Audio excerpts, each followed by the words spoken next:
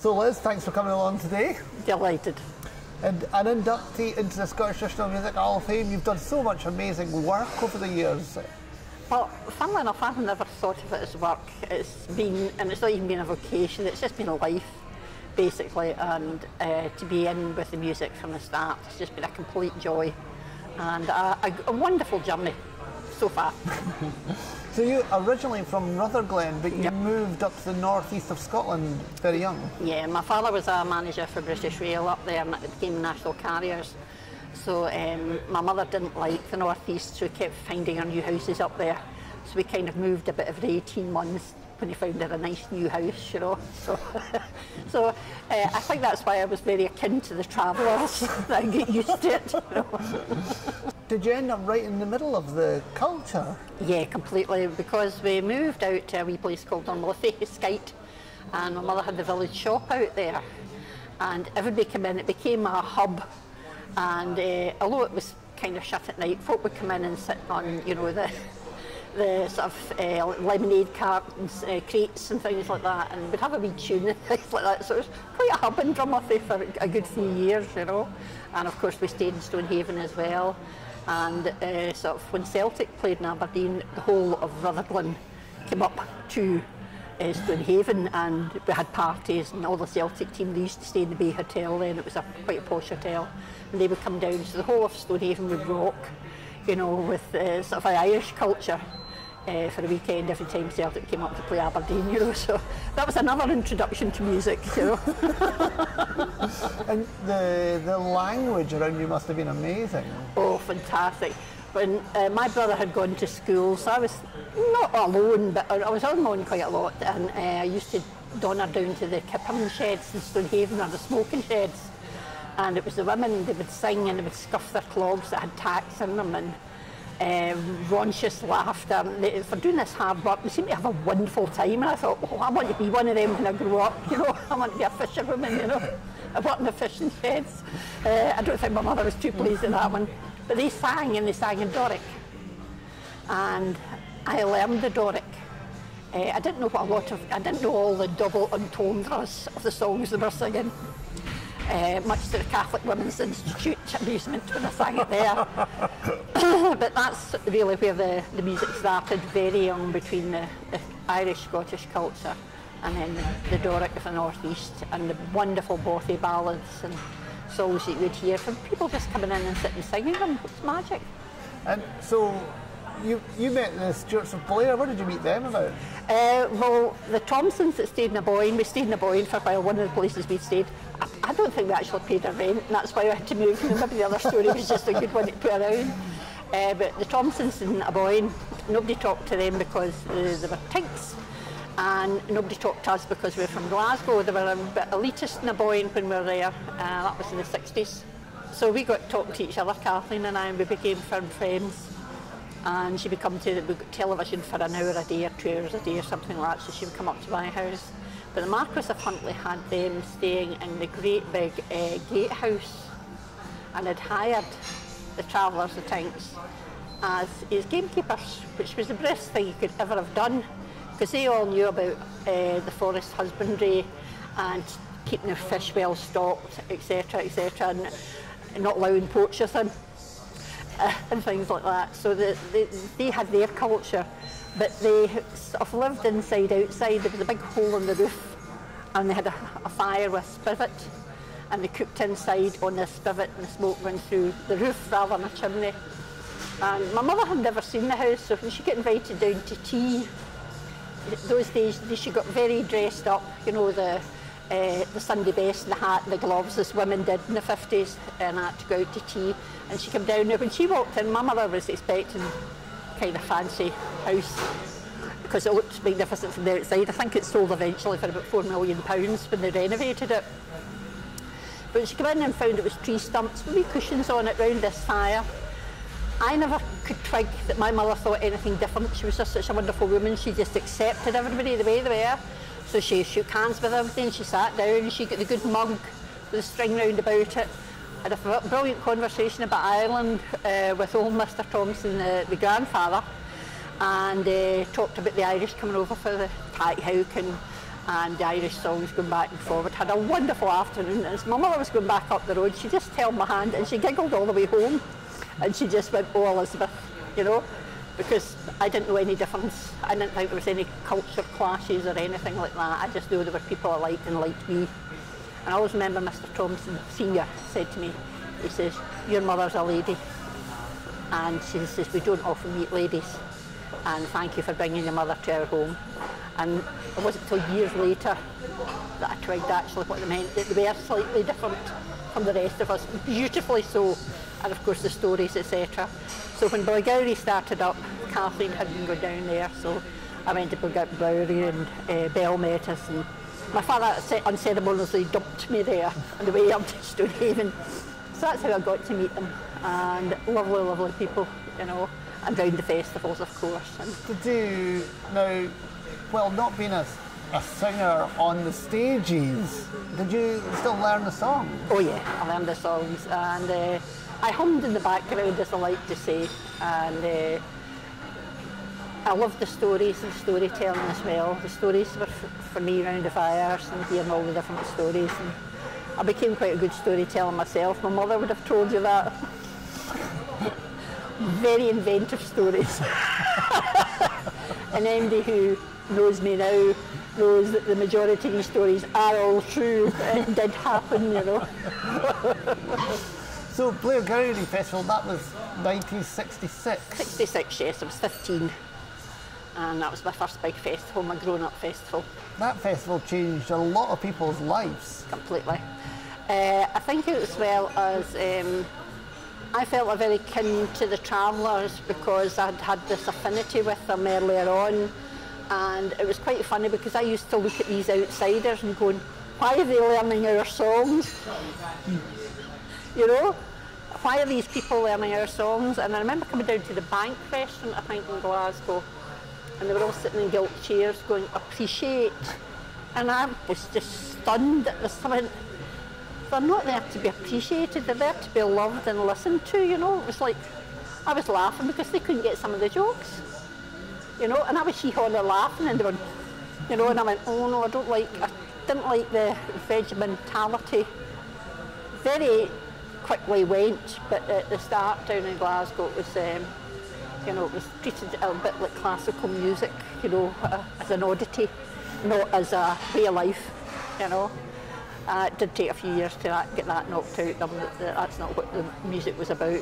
So what age did you come back to Glasgow?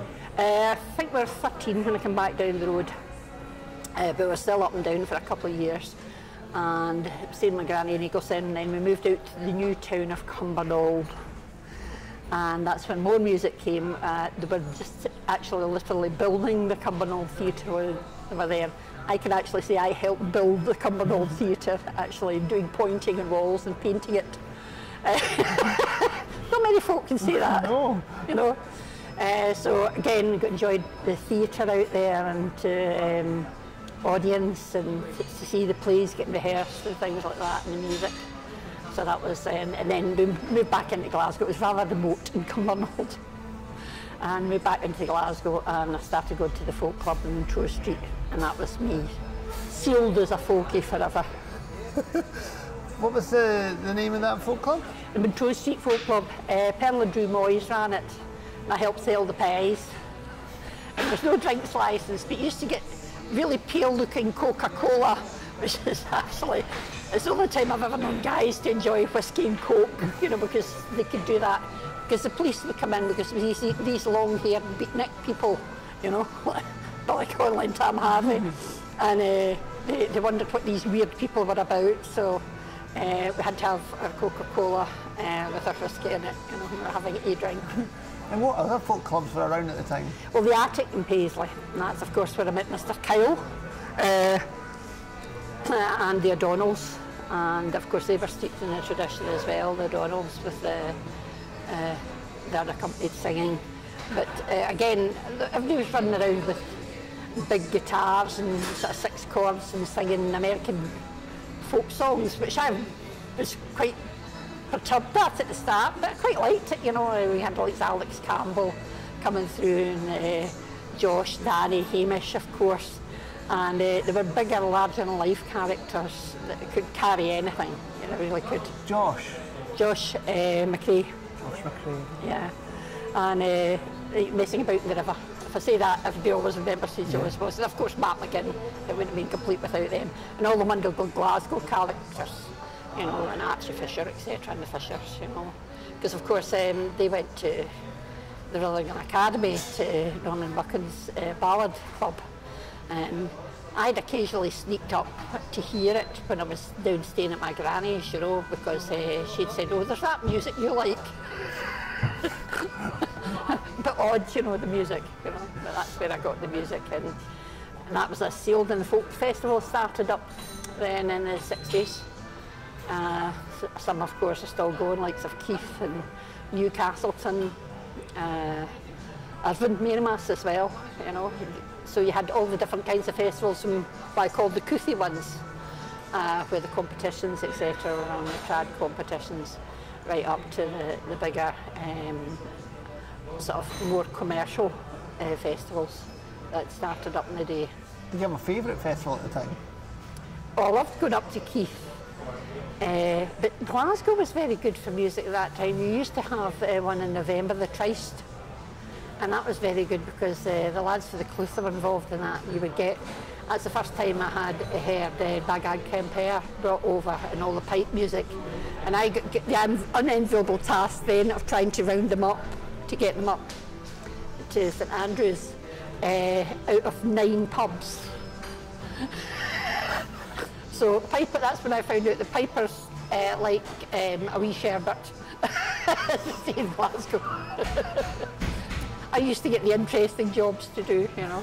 A Breton pipe band in these days coming to Scotland must return us to something it was different. quite, out, quite outlandish, and it was uh, first time I ever heard the bombards, etc. So uh, it was really phenomenal to hear, you know. Uh, uh, actually, at the festival club one time, I managed to get 40 on the festival club stage. And I do remember John Fa- and Cammy saying to me, "You'll not be needing sound then." but it was, it was great. It was exotic, and they brought the first artists over from Bre- Brittany and from Spain, uh, etc. That are Celtic cousins, and made it a really international festival, the Trice Festival. So that was a great one in Glasgow. So when when was the Trice? That was me in the 70s, late 60s, 70s. And we had the Glasgow Festival as well, um, which did run for a few years. Towns were notoriously bad for running festivals in those years because uh, it was better having them in the villages and in the communities because you had places to go um, throughout the day and it was more centralised, etc. Glasgow was a bit spread out, but the venues Glasgow's got now are phenomenal, absolutely fantastic, you know, which we didn't have in those days. Of course, the pub shut at 10, Simon. Well, of course. so, at what point did you get into getting behind the scenes and helping with all the organisation? Well, I think it was really through likes of Danny and Hamish, etc., when they were running events. Maybe at the McLellan Galleries used to be quite good for running events. When you say Hamish, you mean Hamish, Hamish, Henderson? no, no, Hamish Imlach. Hamish Imlach.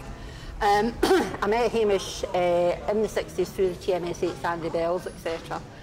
And of course, I've met him a couple of times at Blairgowrie because he went to Blairgowrie uh, Festival. But uh, no, Hamish Imlach, etc. And I mean, the boy bands of the day, i.e., the Tannahills, they're playing this weekend, funnily enough, in Arran, uh, and the Lagan, and then th- those really out, out of it folk, the JSD band, who were just quite wild lads in those times, you know. So that was modern, inverted commas, bands coming, it started to come in that time, and then of course the Batties, you know. In fact, the Batties' first gig was at the Rockfield at Danny's Club in Paisley. Takes you back. It does take you back, yeah. So, so you ju- so you just quite enjoyed the, the organising part of it. yeah. As uh, th- no offence to folkies, they were notoriously bad at organising things like you know uh, making sure everybody knew when they were on, to actually book the sound, to take money at the door for tickets and not because it's your friends let them in and then nobody was getting paid. That uh, folkies had definitely had a, a different attitude to uh, commerce, shall we say, in those days.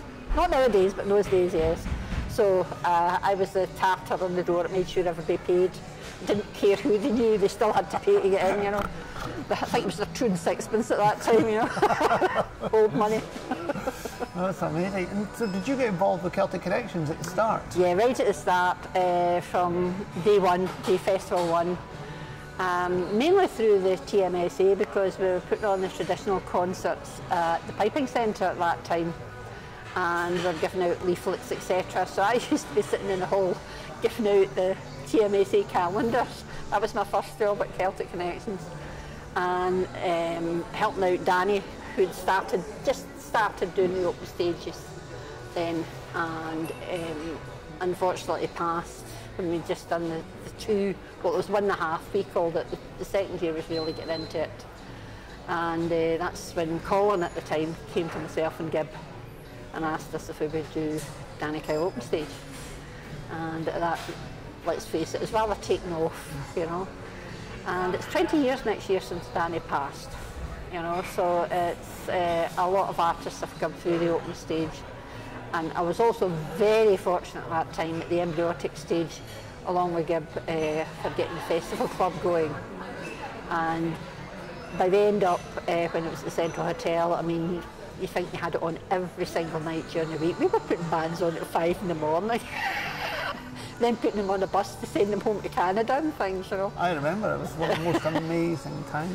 Yeah, I think the collaborations that came out of that time are still living to this day and still resound around the, globe of the wonderful um, acts that had gone on and I've met up with such magnificent But also musicians. a massive contributor to the success of the festival. Yes, yeah, definitely, you know. And I'm delighted it continues on to this day. It may only be at weekends, but I, I've heard it's mobbed. Uh, I, I get barred from it now. I'm, I'm, I'm apparently getting old. I've read it somewhere. Well, I read it. This is by my family, not by Celtic Connections, I hasten to add. I read in the, the 71 acts in the Kyle open stage this year. Yep. That's amazing. Yeah, and another 300 applied. You know, it's the most I've ever had apply this year. And from all over, I had a woman flew over from Argentina for 20 minutes in an open stage. You know what I mean? you, you just go.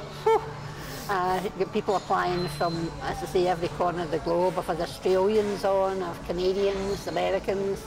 Uh, quite early on, I had two ladies from uh, Maine, I think, flew over with the full-size harps, I mean, harps, uh, to do the open stage. Uh, 10-piece fiddle orchestras from Norway. You name it, we've had it on that stage, and it's fabulous. And one of the best things about it is the audience.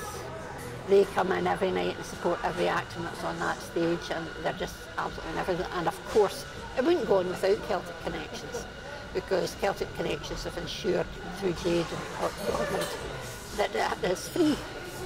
You know, that folk come in and can hear these wonderful acts for free. And then way back in oh, 10, 11 years ago now, um, they came to me that the emerging Celtic music radio was asking if they could maybe broadcast the Danny Kyle open stage and uh, Mark Sheridan who was then at Strathclyde Uni running the degree course in music then I said I think it would be a great asset for Celtic Music Radio. I thought fair enough. We'll see how it goes and it just took off from there and just gave it another leg up and people who listen in from throughout the world you know, to the Kyle open stage. I mean, absolutely mental uh, to think how many people, there's over 100,000 listeners. But it, it's fantastic, you know, and we've got a fantastic crew at Celtic Music Radio that's built up over the years of presenters and shows uh, that has making it not just traditional music. Uh, Gordon and I are the main traditional type uh, presenters in it because we go way back, Gordon Hotchkiss and I, and we do a fantastic programme at New Year. Five years we've been doing it now, bringing in the New Year live the air between 10 and 1 in the morning, and it is fabulous. And the amount of people that have come on from Happy New Year's, from the beach in Australia to Canada to America, And to people say, I've never sat up and listened to the bells for years, but we sit and listen to YouTube because you're mental. what better compliment can you get than that? And the fact that it's uh, not scripted and nothing against the BBC, but it's not scripted, it's uh, warmer, it's more involving with the audience. And they Facebook us in and say things, you know, and uh, we give shout outs to people and uh, they feel part of a community. It is, it's a big family, Celtic Music Radio, and it's, it's really, uh, as I say, taken off. And you do your own weekly show? Yes, it's on on a Tuesday night, Travels to Liz. But we've got from everything for the pure traditionalists to uh, some country. Uh, Stuart Fenwick, who's a, complete authority on country music and goes to a lot of the country festivals and knows a lot of the top artists, has great folk in for his show. Mary Kathleen Buck, who's a singer herself. Uh, we've got uh, our wonderful Alec Jenkins, he does in the morning bits fabulously. Ross with Thank Folk It's Friday, which is a wonderful name for a show, let's face it. You know, wonderful like I'm missing out tons. Go to the website and find out who everybody is and when they're on, and you get to listen again. And the good thing about it is that it's there for getting the music out for the artist because nobody else does it 24 7. Not unless you're an established artist that's a pop artist and they've got other criteria that they must meet. So we actually get the music out there that's not getting aired and that is the fabulous thing that we're able to do for artists, you know, and make sure that folk hear the music, you know. Well, thanks very much, Liz. What an amazing contribution. uh, as I say, uh, the first 50 years have been great. I can't wait for the next 50, Simon.